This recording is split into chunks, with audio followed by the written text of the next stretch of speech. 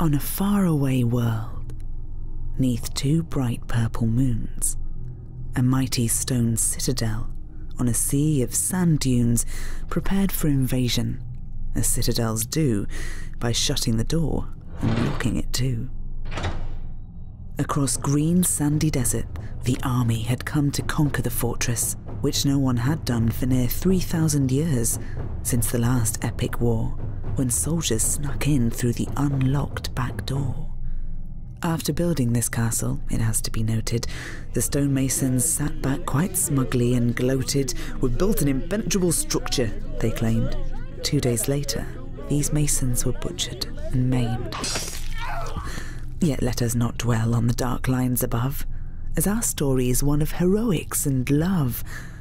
The invaders were axe wielding alien brutes, but no match for our heroes in thick leather boots.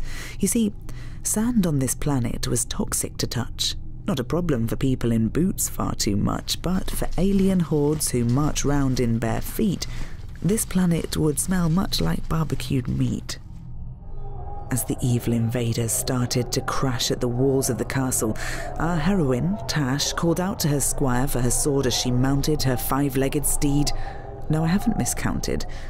With her blade in one hand and her shield in the other, she bid sad farewell to her father and mother. She then rallied her troops to the cause with the cry, Today we must fight, or we'll all surely die.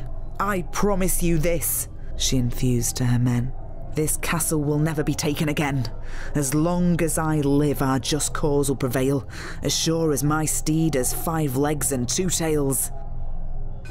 At once, the great doors to the stone fortress parted. The citadel's valiant infantry darted out onto the desert to battle their foes, who by this time were missing almost all of their toes. All through the day, the fierce battle raged on till the aliens melted. The battle was won. Tash gathered her men and marched home across the dunes, neath the dusky, cool glow of the twin purple moons.